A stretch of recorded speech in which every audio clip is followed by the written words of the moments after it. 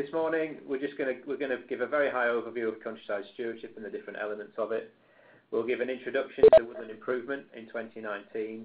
Uh, we're gonna talk about the timelines for requesting application packs and making an application. Uh, we'll talk about submitting a mixed application or woodland-only application. Um, we'll touch on how to score your application, and then we'll talk about agreement management. Um, If you're not familiar with Countryside Stewardship, um, it sort of has three sort of um, three elements, I guess. Uh, that's perhaps wrong term, but three three parts to it. The higher tier, which is what we'll be talking about today, uh, which is um, the grant offer for the more complicated options, where advisor input might be required from the Forestry Commission. There's the mid-tier, uh, which has the simpler options for agri-environment. Um, then there are a range of capital grants um, uh, that sort of uh, are available separately. There are also capital items available in the higher tier.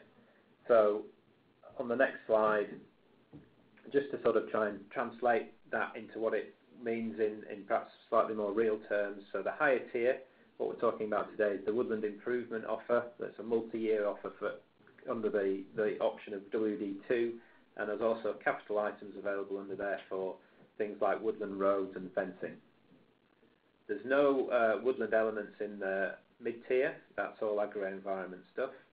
Um, and then there are a number of different types of capital grants available under Countryside Stewardship. Uh, we won't talk about those today, but just so you're aware of them, um, if you're new to Countryside Stewardship, there's uh, support for dealing with tree health issues. Um, there's a grant to prepare uh to help with the preparation of woodland management plans. Uh, and there's also support for woodland creation, both in terms of the initial capital costs to plant the trees and then um, maintenance payments as well um, after that. So that's a very sort of high level, quick run through of the structure of Countryside Stewardship. So we're really talking today only about higher tier, Uh, which provides support for provide support for um, uh, grant uh, activity on environmentally sensitive sites and and woodlands. And so as I say, that's why um, advisor input is required just to agree the works um, with the land manager or their agent. I've sort of touched on a few of these points before, but yes, there's multi-year management options. Um, for woodland, that's the WD2 option. That's a five-year uh, annual payment. And then there are capital items as well to support um, specific investments to help the management of the woodlands.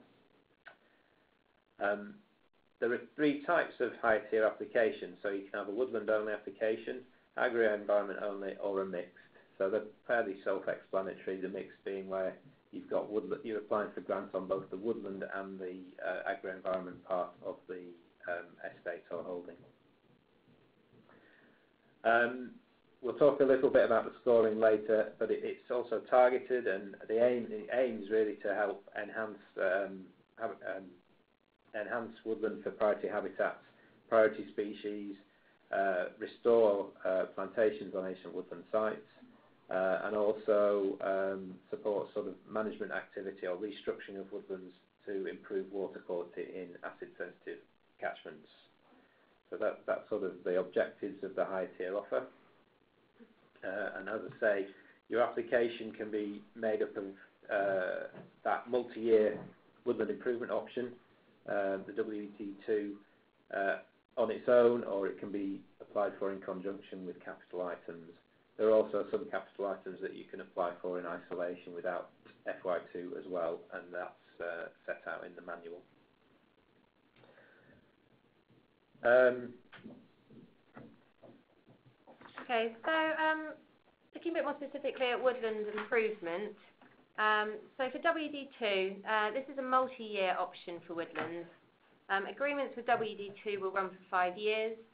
Uh, as Alex touched on, the priorities here are that the works will improve biodiversity and improving water quality in acid-sensitive water catchments. So the payment rate is 100 pounds per hectare, and all the works within WD2 must be informed by a woodland management plan. Similarly, for capital items, there must be a rationale as to why the items are needed within, contained within the woodland management plan, which we'll touch on a bit more in a moment. So just to outline the activities under WD2, um, these are to reduce the percentage of conifer species within five years, to create and or manage open space, create and or manage access rides, and manage, excuse me, manage rides through a zone cutting regime, maintain deadwood habitat in line with UKFS, control grey squirrels, manage successional scrub, managing coppice, uh, protect veteran trees from competing tree growth, um, also thinning, selective felling and regeneration felling, and looking at controlling invasive species or competing species, as well as control deer and, uh, and to produce a deer management plan. So where it's complementary and not used to fund the same work, multi-year and capital woodland improvement options can be applied for on the same land. So alongside WD2, there are a range of capital items. There is two years to do the work and a further three months to claim for capital items. Um, some of these are available as standalone capital items, so you can have an agreement just with those, and others can only be applied for in conjunction with WD2. Um, so as you can see on the, the, slide here, this is taken from the higher tier uh, manual. It's a table that um, outlines all the capital items, uh, which can be standalone and uh, which must be used in conjunction with WD2. um, so looking at actual cost items, uh, so some capital item payments are based on actual costs, and these are paid at percentage rates. Um, so the two actual cost items available to woodland um, applications are FY2, which is infrastructure, which is paid at 40% of the claim value, and SB2, which is scrub control for difficult site, paid at 80% of the claim value. So with these, um, when you submit your claim, the, claim will be for the, full amount of the um, of the capital item um, as per the agreement but what will be paid will be 40% for the infrastructure and 80% for the scrub control.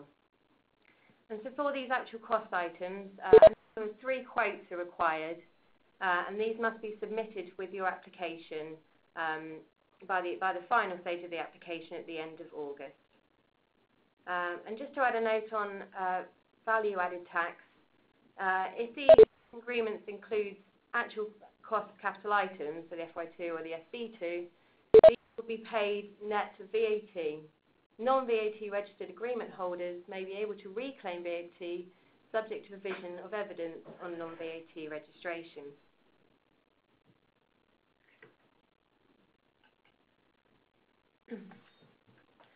okay, so just looking at um, eligibility to apply. So to apply for higher tier, the land must be with, uh, sorry, be within an agricultural area or a woodland. So an agricultural area is defined as any area taken up by arable land, permanent grassland, and permanent pasture or permanent crops. Uh, and for a woodland, this is defined as an area of being a minimum of 0.5 hectares, uh, a minimum average width of 20 metre under stands of trees um, with the potential to achieve a height of 5 metres and a crown cover of more than 20% of open ground. And both those definitions are covered within the higher tier manual. Um, so the land to, to be eligible, a parcel cannot be subject to an existing multi-year agreement, such as environmental stewardship. Um, again, more information can be found uh, within the higher tier manual under section 3. Um, containing information on eligible land management control, BPS, and land receiving other funding and other eligibility criteria. Um, a couple of other points to, consider uh, regarding woodland uh, higher tier applications. Um, there is a requirement to have an approved woodland management plan, which I touched on earlier. Um, and the land parcels entered into the application must be declared as woodland so they might, must have the, woodland land use code, which is WO12.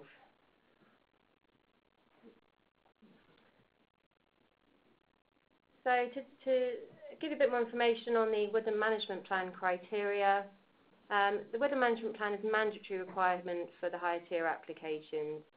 Um, so as we as we touched on earlier, this will um, set out the, the, the rationale for the, the um, items being applied for within your application. Um, so at the point of the application, 3rd of May, so this is the deadline for submitting applications, your plan must either be fully approved or approved in principle. And what approved in principle means is that the plan is deemed approved, but it's still waiting for any felling outlined in the plan to be approved. Um, so it's just worth noting if you haven't sent us your plan by now, uh, it's unlikely that you'll have one approved or improved in, in principle in time to, to come to higher tier this year. Um, and just to clarify, so the plan must be fully approved with all felling permissions in place where it's required um, by the 31st of August 2019. Okay. Thanks, Amanda. Um, so I'm just going to run through uh, the key dates for the higher tier um, application processing um, um, for this year. So the application window has now opened. It opened on the 18th of February, and you can now request an application pack. So you need to request those packs from uh, RPA and their um, their team. Um, the deadline to request an application pack is the 31st of March and then the deadline to submit your initial application is the 3rd of May. So looking back at previous years, or at least last year, the, the application window has opened a little later, that's really to accommodate a number of changes that the RPA have made to their systems to try and improve the uh, efficiency for them in terms of producing packs. Um, uh, we have heard that some agents have requested packs and, and the issuing of those packs has, uh, been slightly delayed. That's, now, been addressed and the RPA are starting to issue packs and um, just to explain that that was by design, it was just to ensure that sort of RPA were, very carefully controlling the rollout of those processes to make sure packs are issued correctly. Um, but as I say, packs are now being issued. Um, once all the applications of initial applications have come in, um, we, review their scores against uh, the available budget uh, to, determine which which will proceed to the next stage, and we aim to do um, to notify applicants of that decision um, uh, in early June. Um, you are not you may not hear from us if your application has been successful in that you well you will hear from a woodland officer because they will want to talk to you about your application. Uh, but uh, the RPA will contact everybody who has not been successful at that stage. So successful applications then move into sort of a negotiation stage where woodland officer will review the application and, discuss it with um, with the applicant. Um, where necessary, that will sort of bring in um, other bodies such as Natural England if the application is on triple SI or it has other sort of designated features where their input is, is, needed. And the aim is to wrap those negotiations up by the end of August. And then um, the, sort of final agreement is reflected in a final sort of application or negotiation schedule that's sent back out to the applicant in mid-September for them to sign um, and get back to us to confirm that they're happy to proceed on that final application uh, on the 30th of September. And at that point, any outstanding evidence uh, must be uh, submitted. Um, uh, this year, that, will mainly relate to the, roading and SB2 options that um, Amanda um, has just mentioned. And then after that, the woodland only applications are subject to a final scoring round so the scores are reviewed in light of the negotiation and, sort of what the final package of work looks like and what the final areas are. Uh, that's done in early October to determine which of those final applications will proceed and then the RPA uh, proceed and issue those agreements um, and the agreements will start on the 1st of January 2020. So that's sort of the timeline. I think if you're familiar with high tier, essentially the sort of the, the, the sort of the back end of the process is very much the same. It's just some changes to the dates at the start here around uh, application window uh, opening and closing have changed a little. Um, so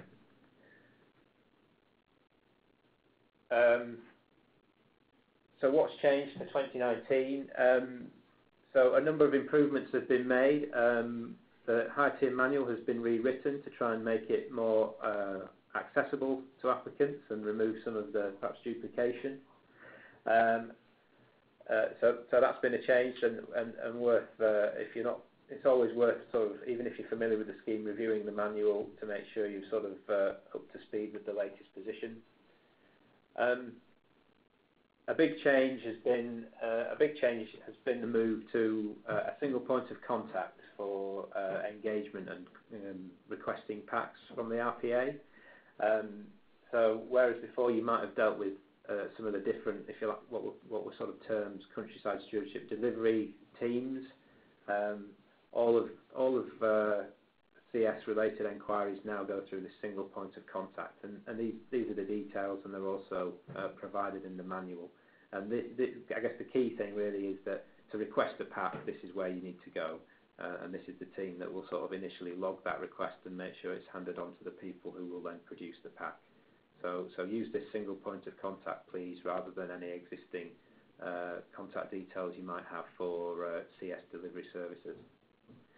Okay, um, quite a lot of ground to cover. Some of it a bit of a recap, but some of it um, just a few tweaks and changes for the coming year. Uh, we'll just pause to just run through some questions. Uh, and a question about whether all the woodland on the holding needs to be entered. Um, no, not for a higher tier application, but um, for the we would expect all of the woodland to be covered in the management plan.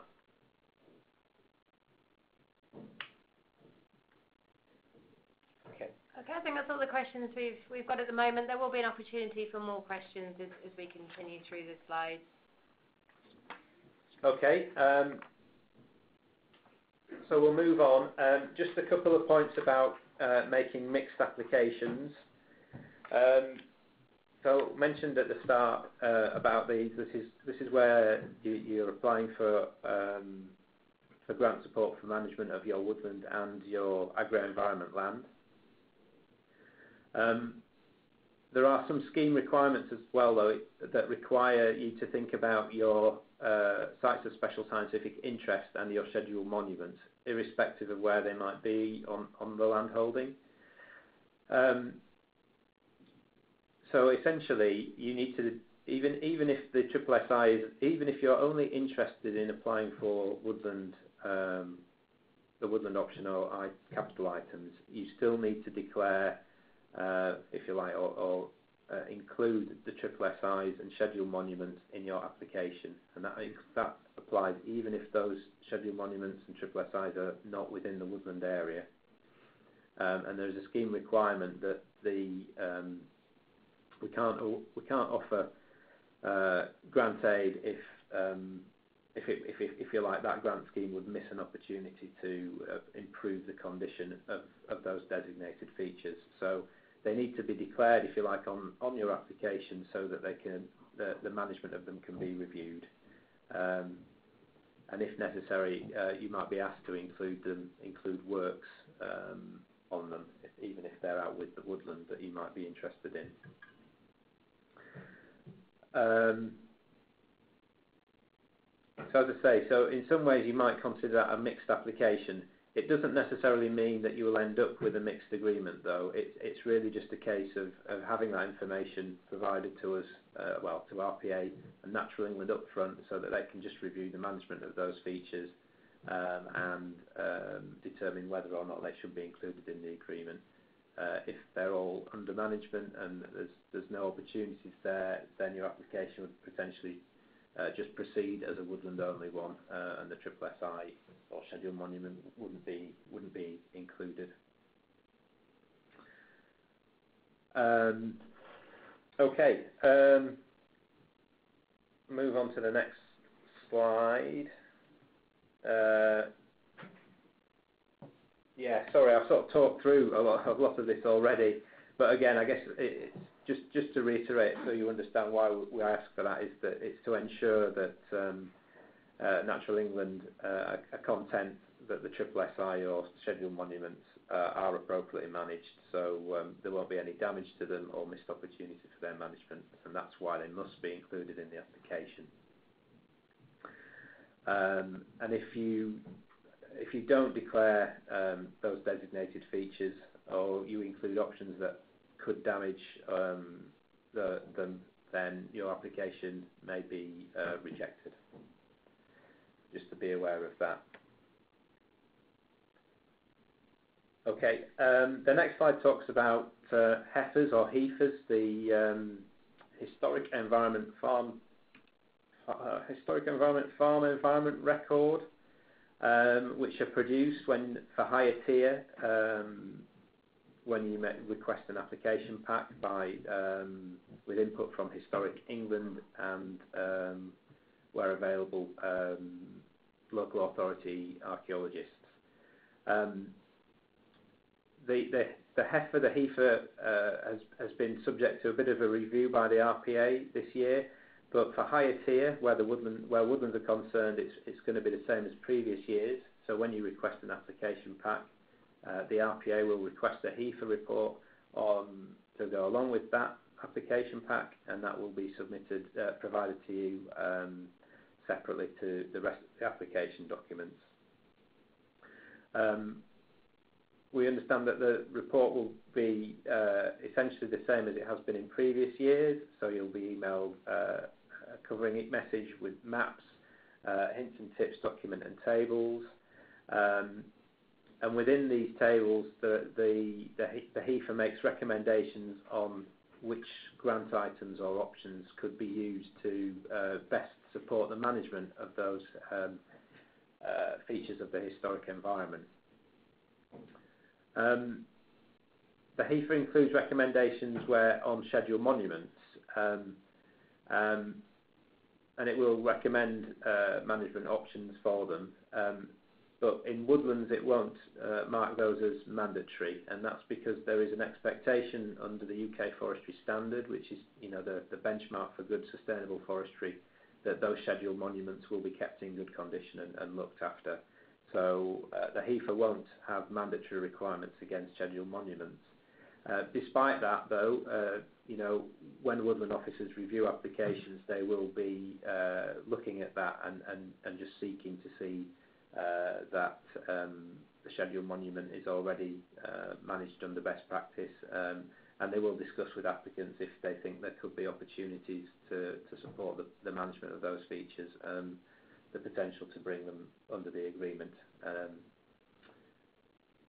okay. At times you might not get a HEFR response, and that would indicate there aren't designated sites in the area, Uh, and there are certain counties that have uh, opted out of the HEFR process. Uh and in that case, um, there'll be an automated uh, response from the system that confirms the location of any scheduled monuments. So at least you're aware of any designated sites that you should be considering as you develop your application. Okay. Um, That's it on the uh, historic environment report. Uh, again, we'll just pause for any questions on mixed applications and HEFRs. Um, there's none. Hopefully, that's not bamboozled everybody. Um, but um, Okay. If there's no questions, uh, we'll move on to talk about scoring.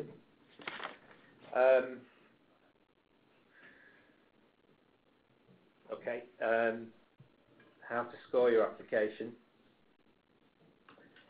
Um, okay. So higher tier is competitive uh, part of Countryside Stewardship, so all applications are scored. Um, and the area that's within the grant application needs to be in the sort of target areas that uh, sort of command the score. Again, it sort of goes back to the objectives of countryside stewardships and areas that are subject to that receive a score uh, need to be within uh, those allocated for priority habitats, priority species, PAWS, restoration, or water work. Um, okay.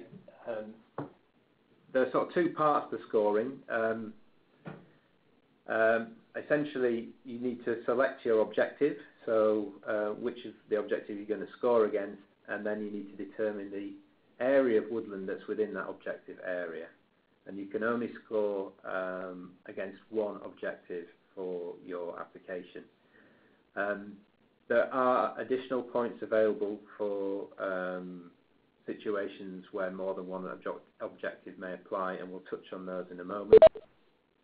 Um, and applicants are required to do a self-score and, and, need to complete that when they submit their uh, application. And there's part of the application annex.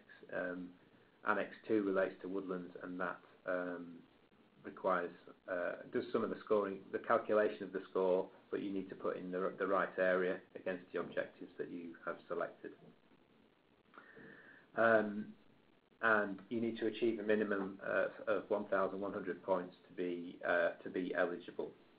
So that that self score determines if you if you're eligible, um, and it will be reviewed initially. Uh, sorry, reviewed um, and updated with a Forestry Commission score if your application gets to the sort of the final round of scoring. So after all those negotiations I mentioned have taken place and any adjustments have been made to the application, we just review that score, uh, see if it's changed to, determine again which schemes will go forward.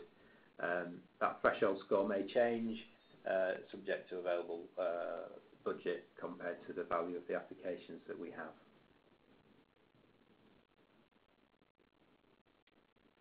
Okay, so how, how to self-score. Key thing is really to read the guidance on this um, and your application pack will include or direct you to uh, some how-to guidance which will uh, run through this. Um, you, so you need to make sure that the land in your application, as I say, is uh, under one of the CS objectives.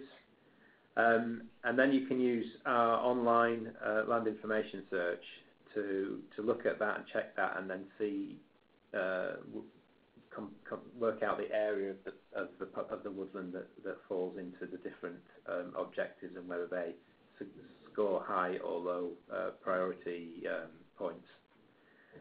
Um, our land information service has changed to a new format, and we'll touch on that briefly. But these slides don't go into too much detail on that, and I think perhaps, if I'm honest, we, will consider whether it's worth a separate webinar or, video just to sort of walk people through how to use our new system uh, to do the scoring. But it's essentially, if you're familiar with the old LIS, it's very very similar in that you've got layers that you put onto the screen, and then you'll draw out your shapes and measure them to work out um, the eligibility. Um, and it's a bit more slicker than the old system. So um, uh, an improvement there for people using it. Um, as I've mentioned, yeah, there's a supplementary. You need to score against one objective, but there's a supplementary score uh, if you meet the criteria. The criteria. So if the um, uh, woodland is in a, woodland bird assemblage area, includes triple SI land or has multiple objectives. And again, sorry, I've, got ahead of myself. Um, tab 2F of Annex 2, uh, which you'll receive in your application pack, uh, is where you put in your score. And the next slide just has a screenshot to show what that looks like.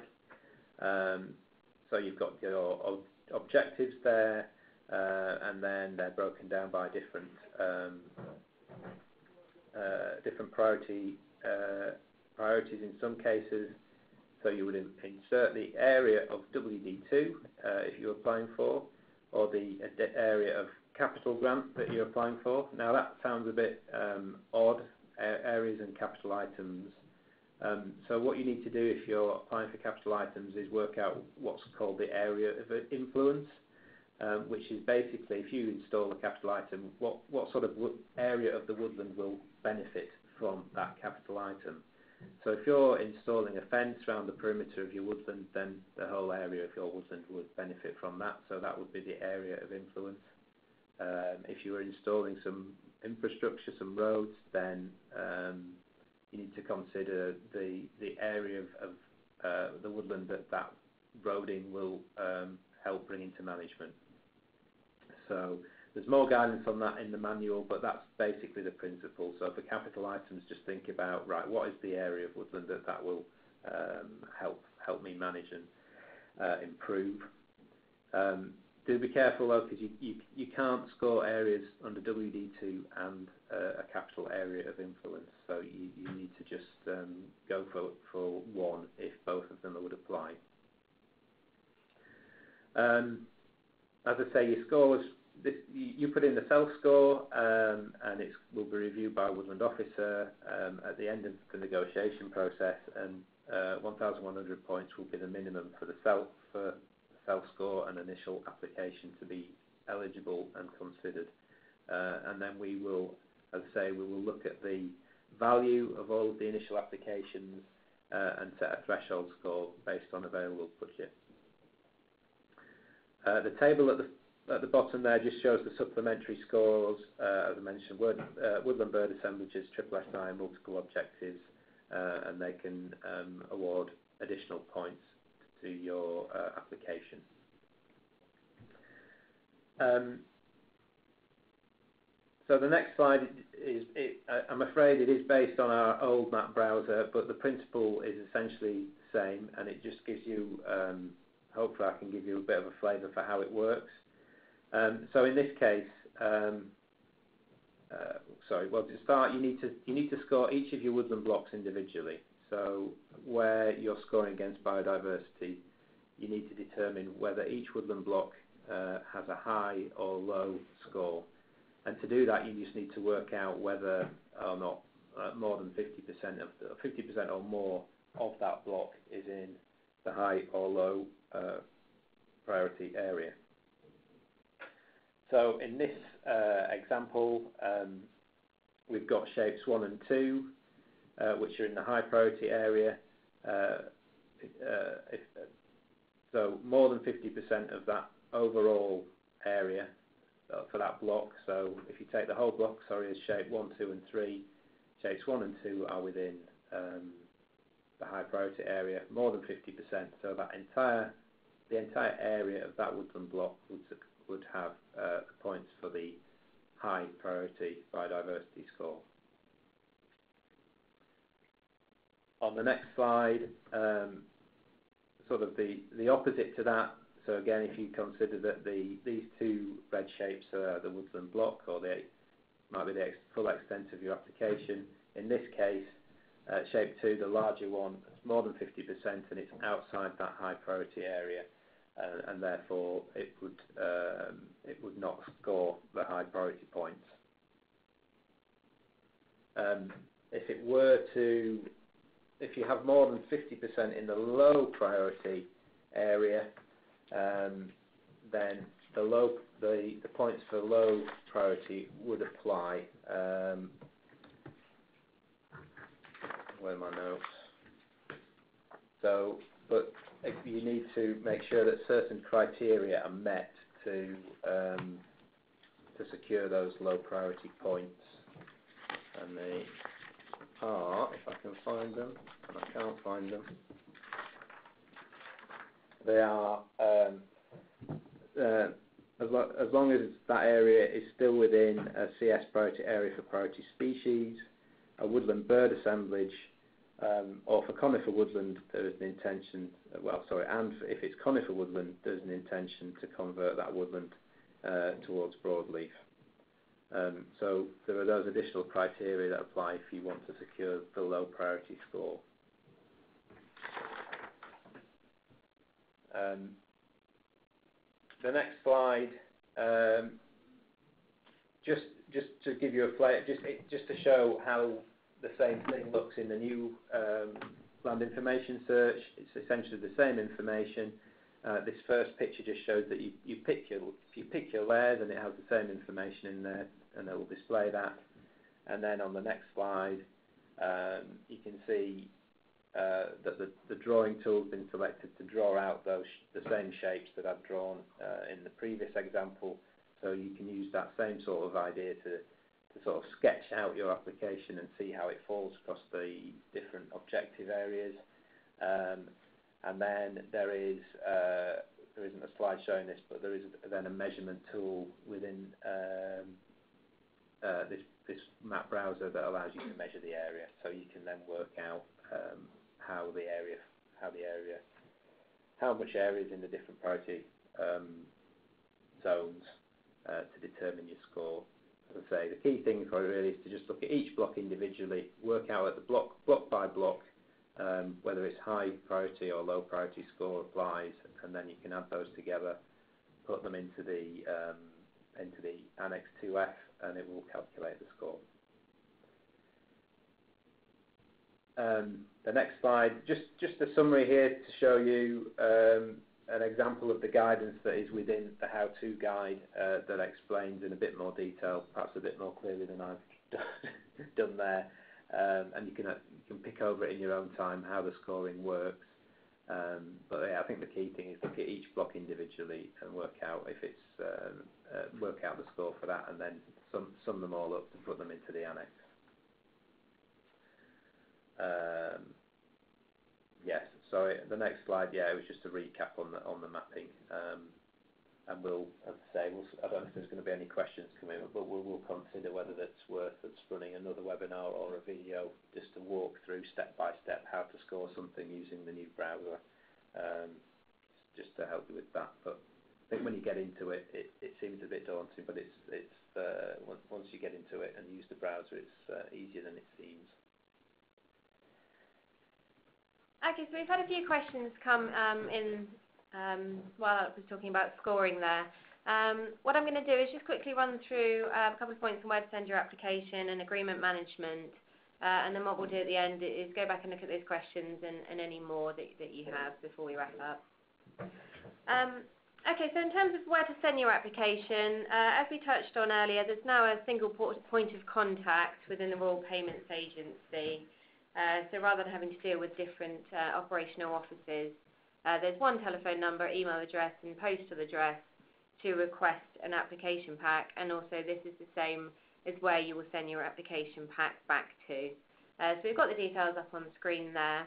But these can be found in Annex 9 of the new higher tier manual, Uh, which is obviously on the .gov pages. Um, okay, so just moving on to evidence requirements. Um, so, uh, a key improvement that's been looked at this year uh, surrounding evidence is the reduction of requirements that you need to routinely submit with your application or with your claim. Um, so this year, you'll only be required to send um, certain specified evidence to the Rural Payments Agency. Um, so if you have a look um, at the Grant Finder tool, so the item guides on the .gov website, and also within the higher tier manual, it will set out what evidence needs to be submitted uh, with your application, what needs to be submitted with your claim, and what evidence you'll be required to keep um, and submit if requested. So if you're familiar with the scheme, certain evidence that you would have routinely submitted with your application uh, may now no longer need to be submitted uh, with the with the application, but you will still need to retain that evidence and hold on to it until it's requested. So the best thing to do would be to have a look at the manual uh, and the Grant Finder tool online, and it will see you'll be able to see under each each item, so under WD2 and under the capital items, um, exactly what records are required and and when they need to be submitted. Um, you'll still need to submit supporting documents with your applications as standard, so the option maps and supporting annexes. Uh, but as I say, for for further information on other things, um, do do have a look at the the, the item guide, um, which sets it out quite clearly on, on the .gov website. Okay. And finally, just uh, uh, to point on agreement management before we um, take any questions. Um so the um, higher tier applications, 2019 applications, uh, these agreements will commence on the first of January 2020. Um, and As standard, no agreements on the sorry, no amendments on the agreements are permitted unless the RPA has expressly agreed the amendment uh, and these will only be under exceptional circumstances. So just a point, you, you must not include any work in your application which has already been undertaken, um, or any financial commitment made before the 1st of January, or the agreement may be terminated. Um, just to go back onto uh, amendments to options or items within the agreement. So, um, as I've touched on, these are not permitted. Um, however, should, an exceptional situation arrive uh, where you need to change the choice or location of a multi-year option, uh, the RPA will consider requests to amend the agreement. Um, but just to stress, this only applies in exceptional circumstances. Um, and the RPA must agree to the request before you make any changes to an option location or management. Uh, so in terms of claims, uh, multi-annual claims must be submitted by midnight on 15th of May. Um, and as we said, uh, capital claims must be submitted within three months following the two-year period of the capital work, so one or, one or two years. Um, and claims should be submitted online via Rural Payments. Um, the capital claims can be submitted any time during the period of capital works, and as I must be submitted within three months after this period at the latest. Um, part claims for capital items can be made. Uh, the items where this is available is, is specified in the higher tier manual. Uh, you must comply with the mandatory elements set out in the higher tier, tier manual um, around claims. and just to touch on advance payments for WD2, uh, payment 75% made within the remaining balance will be paid separately. Um, if you refer to the optional item guides on gov.uk, um, you can see what information is required uh, when submitting your claim. Uh, and Chapter 6 of the High Tier Manual um, sets out more information on this. Okay, thanks, Amanda. Yeah, I think key point. Don't don't start work until you've got your agreement and that that first of January start date has passed, and do sort of take note of the dates to submit your claims, be it your your annual claim um, in in mid-May or uh, the timeframes for capital works, because anything submitted after those those dates um, uh, would be wouldn't be paid, or you may be subject to a penalty. So so just just be uh, aware of those dates once you've got your agreement in place. Um, okay, um, before we do some final questions, one point, uh, one change I, should have mentioned at the, start is that this year um, the RPA's approach to producing map packs has changed, and it's all going to be generated through the system, which is which should be an improvement, and it will pre-populate the pack with the land parcel information. That change does mean that all applicants will get an Annex 1 and an Annex 2 and those annexes will be populated with all the land parcels on the land holding. So just to be aware of, of, of that. So you'll get that pre-populated annex, if you or annexes. If you're only interested in woodland, then you don't need to do anything with your Annex 1, um, unless you have triple SIs or scheduled monuments that you need to, to include in the application, as we mentioned. But otherwise, within the Annex 2, if you're applying for woodland only, you just need to look down that list of parcels and just uh, select those parcels that you're interested in. Um, so, so just be aware that, yeah, you, you'll get all of the land parcels on that pre-populated annex, uh, and you just need to pick out the ones that you want to uh, include or apply for for work on. Okay, um, we'll try and, before we wrap up, we'll just go to some, some questions. Um, the request for application packs have to be made only by named persons on the RPA permission list. Um, yep, so that's right. So to request a pack, um, you do have to be an authorised person on the RPA. Um, so if, you're not if you're not registered as a, an authorised person, uh, unfortunately the, the the RPA won't be able to to send the pack out to you, and you'll need to first get the right permission levels before requesting the pack. Yeah. So, so to request the pack, you need the minimum, uh, the minimum uh, permission level under countryside stewardship, which is, I think, is you. So as long as you're, uh, if you're an agent working for a client, as long as your client's giving you that view permission, then you can request the pack. Um, is the woodland bird assemblage lane now available on lists? Uh, that that throws doubt in my mind. I, I hope so. I'm going to have to go away and check that. Um, I thought it should be there uh, as it's part of the uh, part of the scoring, and, and the, the list system should support that. Uh, it sounds like it isn't there, or hasn't been, so we'll take that away and, and, and confirm that. Um, uh, is there a supplementary score for members of facilitation groups where woodland management meets objectives of the uh, facilitation group? There, there isn't the, the, the supplementary scores are, set by those criteria that I went through around the triple SI, um, multiple objectives. I think that that's multiple objectives in terms of the objective uh, CS objectives, if that makes sense. Um, uh, what was the other one? Based on those criteria. First example, and then just on a question about our first example on scoring, uh, where we had over 50% being in the high priority area, and the rest in the low priority area. Um, was that right? Because uh, it seems that the low priority area must meet the other criteria I mentioned. So, so I think it's simpler than that.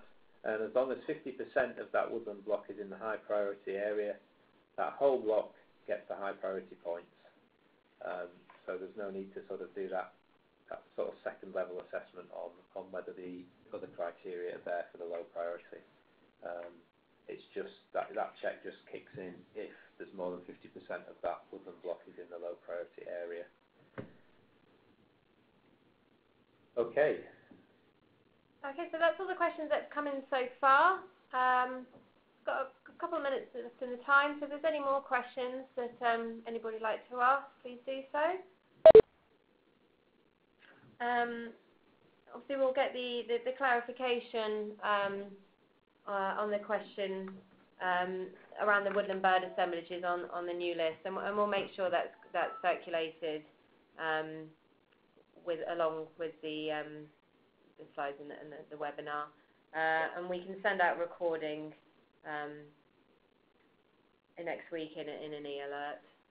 Yeah, so we'll send a link to a recording. Yeah, I think that's it. I hope, I hope that's been helpful. Just sort of an overview of the high tier offer for this year, how it fits with CS, and some of the key things. I think the key thing is, is just to even even if you're familiar with the scheme, just have a look through the manual uh, and the, and the item guides. Um, as, as Amanda said, the evidence requirements have, have changed.